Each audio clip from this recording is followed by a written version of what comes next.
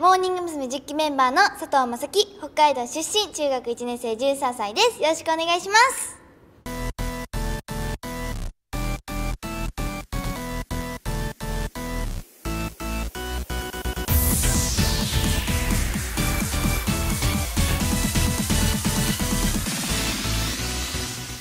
私が母のお腹にいる時にあの母がラブマシーンを聴いてたらしくてその影響かはわからないんですけど3歳ぐらいになった時に母が踊ってる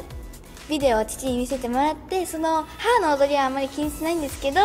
その後ろに映ってるモーニング娘。さんのダンスがあってわかっこいいなって思っていつか入りたいって思っていやーなんか最初はものすごくなんかできんのかなとかずっと思ってたんですけどなんかクドゥとかあゆみんとかはるなんとかにあとはきゅうきさんも先輩さんも教えてくれてなんかどんどん自信がつくようになりました。よくなんか10期とかになんか特にクドゥなんですけど天然すぎるんだよって言われてしかもボケてるしみたいなこと言われるからあそうなのかなって思います。うーん。す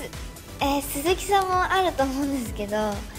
あるんですよ鈴木さんも。ドミソだったらドミソって言ったりとか。3つ弾いたのをバッて当てられる音があるんですよ。でこの前あのあゆみんにあの3音弾いてもらったりとかあとはなんか2音弾いてもらったりとかしてたんですけど同じレベルであ鈴木さんも同じなんだなって思いました。大好きです。やっぱり生まれたとこだしあと自然がいっぱい。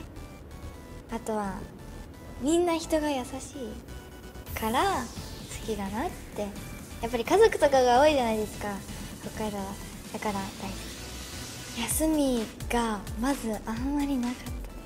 た。ピアノとか塾が塾塾っていうか習い事が1週間だってが入ってたからピアノ塾バレエドラム乗馬最初はものすごくなんかやっぱりできない曲とかあったりとかなんか